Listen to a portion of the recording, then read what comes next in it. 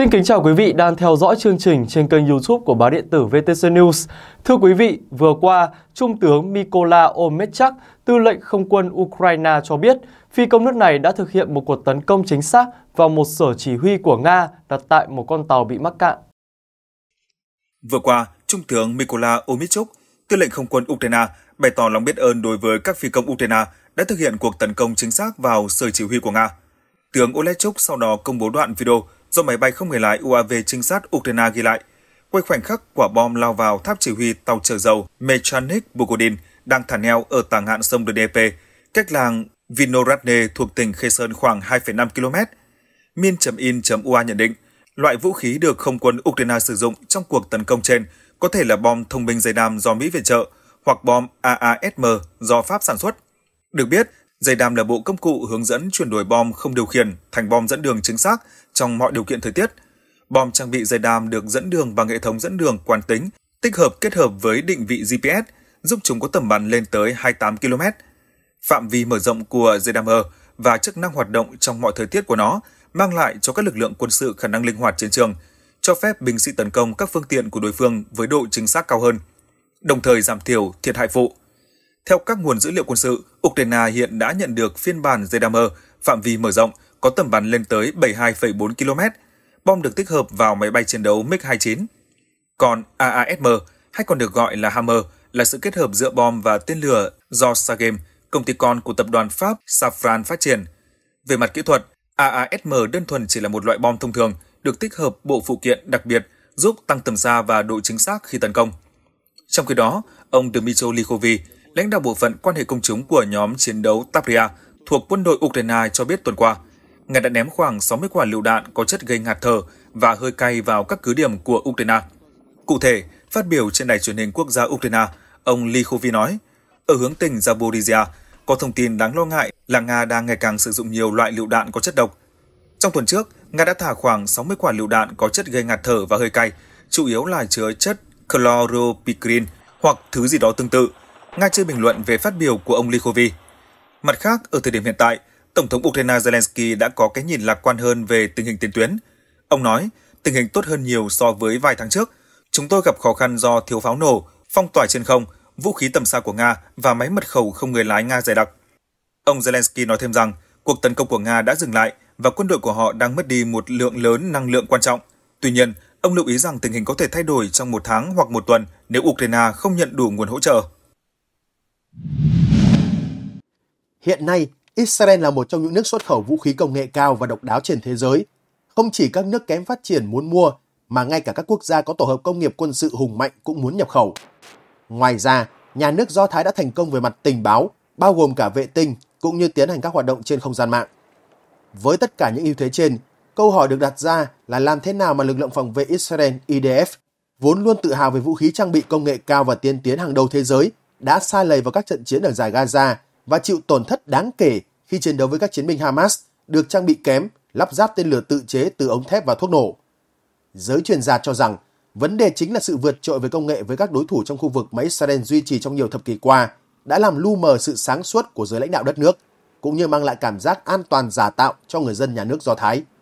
Về ưu thế công nghệ cao và khả năng bất khả xâm phạm của nhà nước Do Thái, nhóm vũ trang Hamas của Palestine đã xua tan những niềm tin mù quáng này vào ngày 7 tháng 10 năm ngoái bằng cách khiến hệ thống phòng không của Israel quá tải với hàng nghìn tên lửa tự chế và rẻ tiền. Trước đó, có nhiều thông tin nói về việc vũ khí của Hamas được chuyển từ bên ngoài bằng đường hầm và đường biển hoặc được nhóm này chế tạo từ nguồn nguyên liệu sẵn có. Dù Tel Aviv và Cairo đã áp đặt biện pháp phong tỏa nghiêm ngặt đối với giải Gaza sau khi Hamas kiểm soát vùng lãnh thổ từ năm 2007, khiến giải đất này gần như bị tách biệt khỏi phần còn lại của thế giới. Lệnh phong tỏa bị Israel thắt chặt hơn nữa sau cuộc tấn công của Hamas. Điều này đặt ra câu hỏi là Hamas đã làm cách nào để tích trữ được lượng vũ khí khổng lồ cho chiến dịch như vậy trong bối cảnh bị bao vây, phong tỏa từ nhiều năm nay. Giới phân tích cho hay, nguồn cung vũ khí chính của Hamas nhiều khả năng đến từ Iran. Quốc gia đã nhiều lần công khai bày tỏ sự ủng hộ với nhóm vũ trang. Nhiều quan chức Mỹ nói lực lượng này đã được Tehran hỗ trợ trong thời gian dài. Giới chuyên gia cho rằng vũ khí Iran được đưa tới giải Gaza thông qua hệ thống đường hầm bí mật xuyên biên giới hoặc chở bằng đường biển qua địa Trung Hải một số được vận chuyển dưới dạng linh kiện, sau khi tới nơi mới được lắp ráp lại thành vũ khí hoàn chỉnh. Ngoài nguồn súng đạn tiếp nhận từ bên ngoài, Hamas cũng có khả năng tự sản xuất vũ khí.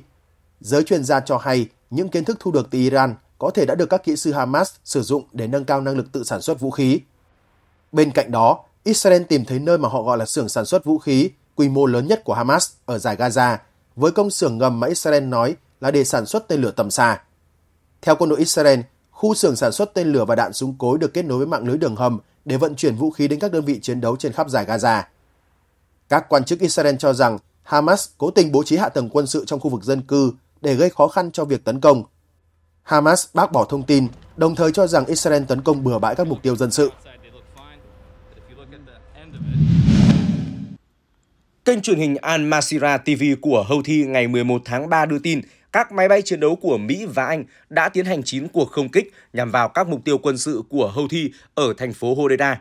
Có 4 cuộc không kích nhằm vào khu vực Ras Isa ở quận Al Salib phía tây bắc, 3 vụ khác tại khu vực Al Ar của quận phía đông Bajin. Trong khi hai vụ còn lại xảy ra ở khu vực Al Taib thuộc quận Dura Ihimi ở phía nam. Nhiều nhân chứng mô tả các vụ nổ tại những địa điểm do Houthi kiểm soát có sức công phá lớn. Hiện Mỹ và Anh chưa đưa ra bình luận nào liên quan tới các vụ không kích này. Trong khi đó cùng ngày, báo Ả Rập News của Ả Rập Xê Út đưa tin cơ quan điều hành thương mại hàng hải Vương quốc Anh UKMTO vừa cảnh báo các tàu đi lại ở Biển Đỏ phải thận trọng sau khi có báo cáo về một vụ nổ cách cảng Salif thuộc tỉnh Hodeida của Yemen 71 hải lý về phía tây nam.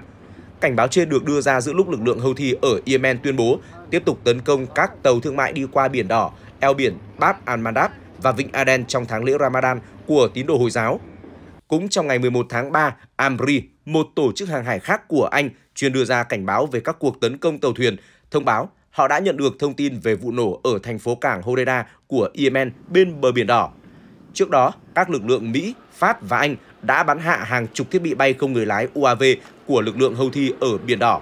Ngay sau vụ tấn công của nhóm này nhằm vào tàu sân bay và các tàu khu trục của Mỹ ở Vịnh Aden. Bộ Tư lệnh Trung tâm Mỹ CENTCOM cho biết, các tàu và máy bay của Hải quân Mỹ đã bắn hạ ít nhất 28 thiết bị bay không người lái của lực lượng Houthi ở Biển Đỏ.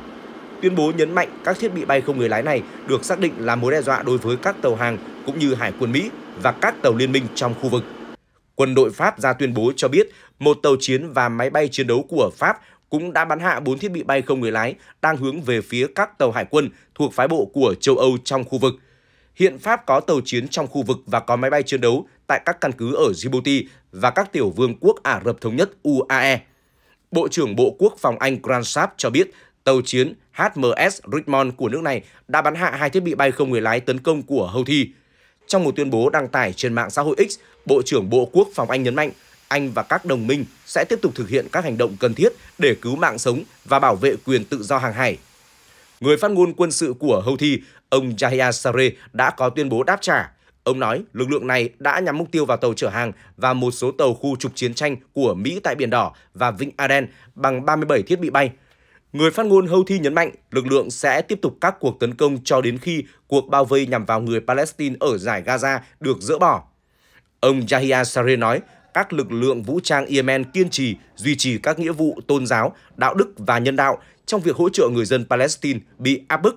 Chúng tôi sẽ không dừng các cuộc tấn công cho đến khi hành động xâm lược chấm dứt và cuộc bao vây người dân Palestine ở giải Gaza chấm dứt. Thông tin về hợp tác giữa Nga, Trung Quốc và Iran thường nhận sự quan tâm lớn từ phương Tây. Đây đều là những quốc gia có khác biệt với phương Tây trong nhiều vấn đề, đặc biệt là câu chuyện liên quan tới quân sự giữa lúc cuộc xung đột Nga-Ukraine tiếp diễn. Gần đây, tuyên bố của Bộ Quốc phòng Nga cho biết Hải quân Trung Quốc, Nga và Iran sẽ tổ chức các cuộc tập trận chung ở Vịnh Oman trong tuần này, mang tên Vành đai An ninh hàng hải 2024. Cuộc tập trận chung năm nay diễn ra trong thời điểm gia tăng căng thẳng trong khu vực khi cuộc xung đột giữa phong trào Hồi giáo Hamas và Israel chưa có dấu hiệu hạ nhiệt. Song song với đó, lực lượng Houthi ở Yemen tiến hành một loạt các cuộc tấn công nhằm vào các tàu thuyền ở Biển Đỏ. Bộ này cho biết Phần thực tế của cuộc tập trận sẽ diễn ra ở vùng biển Vịnh Oman thuộc Biển Ả Rập. Mục đích chính của cuộc diễn tập là nhằm đảm bảo an toàn cho hoạt động kinh tế hàng hải. Bộ này cho biết, nhóm tàu của Nga được dẫn đầu bởi Varia, một tàu tuần dương tên lửa thuộc hạm đội Thái Bình Dương. Họ cho biết đại diện của Hải quân Pakistan, Kazakhstan, Azerbaijan, Oman, Ấn Độ và Nam Phi sẽ đóng vai trò quan sát viên. Hải quân Quân đội Giải phóng Nhân dân Trung Quốc đã cử 3 tàu tham gia cuộc tập trận – bao gồm tàu khu trục mang tên lửa dẫn đường Urumqi, tàu khu trục mang tên lửa dẫn đường Linyi và tàu tiếp tế toàn diện Đông Bình Hồ. Cuộc tập trận được tổ chức theo đúng kế hoạch hàng năm và đạt được sự đồng thuận của các bên, Bộ Quốc phòng Trung Quốc nói. Còn theo thông tin từ hãng thông tấn bán chính thức ISNA, cuộc tập trận này sẽ có sự tham gia của các đơn vị mặt nước và trên không của Hải quân Iran. Vào tháng 3 năm ngoái, Hải quân ba nước cũng đã tham gia các cuộc tập trận trong khu vực này. Hạm đội phương Bắc của Nga cho biết, các bên tham gia cuộc tập trận năm 2023 đã thực hành việc thành lập một lực lượng đặc nhiệm đa quốc gia, gồm nhiều tàu chiến và diễn tập trung theo các mệnh lệnh chiến đấu khác nhau. Quân đội ba nước đã tiến hành bắn pháo vào các mục tiêu trên biển và trên không, tập huấn giải cứu một con tàu có con tin trên đó và hỗ trợ tàu gặp nạn trên biển. Các cuộc tập trận trên được miêu tả là động thái thể hiện năng lực quân sự ngày càng tăng, cũng như liên kết chính trị ngày càng sâu sắc giữa ba nước. Nhiều luồng ý kiến nhìn nhận, Nga đang xem Trung Quốc và Iran là những đối tác mạnh mẽ trong việc chống lại nỗ lực cô lập của phương Tây.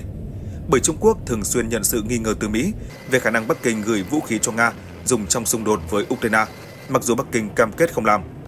Tương tự, Iran cũng liên tục bị cáo buộc gửi máy bay không người lái cho Nga, bất chấp Tehran lên tiếng bác bỏ.